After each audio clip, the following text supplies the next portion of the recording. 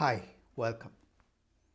I wrote my first book in valuation almost 35 years ago. It was called Damodaran in Valuation, an incredible ego trip because I don't think anybody had heard the word Damodaran.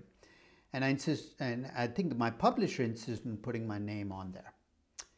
Since then, I've written other books in valuation, Investment Valuation, which is a textbook, Dark Side of Valuation which is about difficult to value companies, Narrative and Numbers, which is about how to connect stories to numbers.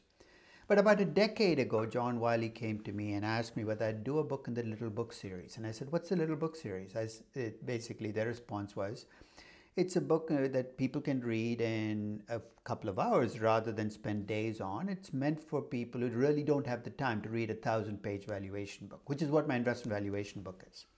I thought about it for a moment. I was initially a little reluctant, but I said, okay, so a decade ago, I wrote the Little Book of Valuation. It has become the best selling of my books. And I've tried, I tried in 250 pages to tell people what I was telling in 1,000 pages. And it wasn't actually that much of a strain, which tells you how much you buff up books when you write them.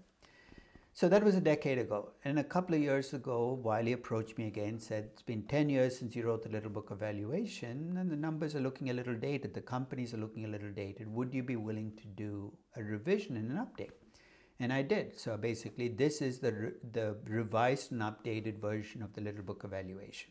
What's changed? Not the first principles. If you have the first edition, the original edition, and your cap budget strain, don't buy the new edition. There's nothing that is, you know, particularly insightful and new in the new book, but I have updated the examples to reflect the fact that we're in 2024, not 2012. So this is the revised and updated edition. There are a couple of examples from the old edition that are still in the book, but most of the examples have shifted to reflect more recent ones.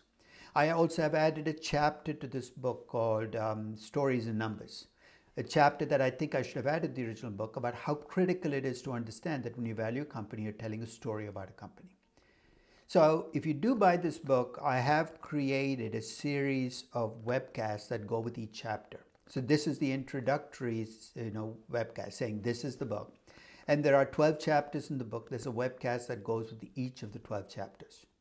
Each of the webcasts is about 20 minutes long. It basically takes what's in the chapter and presents to you as a webcast. There's again nothing particularly new or insightful in the webcast. It's a different way of reviewing the material. So I hope you have a chance to watch some of those webcasts, especially for the chapters you're particularly interested in. But I'm glad you're along for the ride, and I wish you the best as we go along. Take care.